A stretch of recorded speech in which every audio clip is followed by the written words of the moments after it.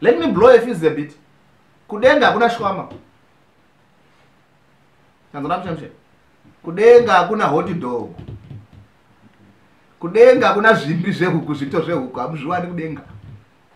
Hmm? kudenga zvakati tichanomhoresana kudenga patonesomuka ehe tichanofara tichimhoresana kudenga hakuna chekudya tazona mushemshe ehe saka mukasachidya panyika zvimaice cream mukasazvidya panapa hmm? Asi uchibva ipapo ndi munoimba kwayake ndimaleaders epraise and worship.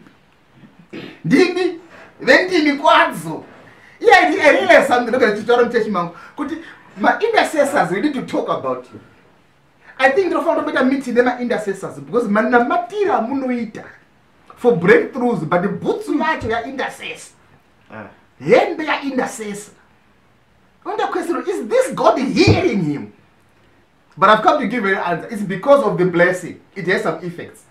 But you are failing to understand the effects of the blessing